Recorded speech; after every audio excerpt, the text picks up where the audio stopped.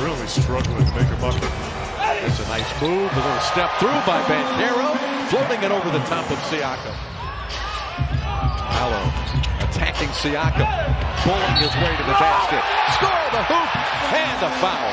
What a nice job by Paolo. A little under four assists a game after leading the league double figures in that category last season. It's early. Yep. Carter spinning hook shot floor. Banchero gets downhill, runs right up the back of Isaiah Jackson. Yeah, I just think that David last year they proved themselves to be Anthony Banchero. Toppin tries to defend Paolo. Fadeaway jumper. There's not much Toppin or anybody else can do about that. He also has six assists.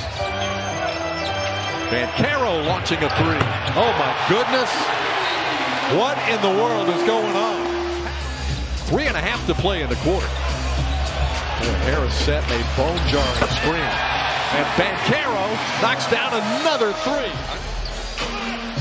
He's a tough defender, but the size difference is significant. And Banchero is dialed in, folks.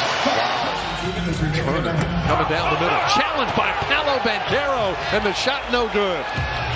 He's doing it at both ends of the floor. One on one against Nembhard.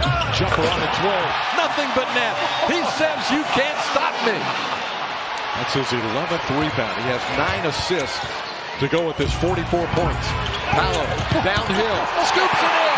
You can't stop him. Oh, my. Circles back out. Shot clock at 10. Paolo Banchero. Count it. He's going to the line with a chance to tie the game. 50 points for Paolo Banchero. Look at Cole Anthony. He knows putting at that 50 on his jersey.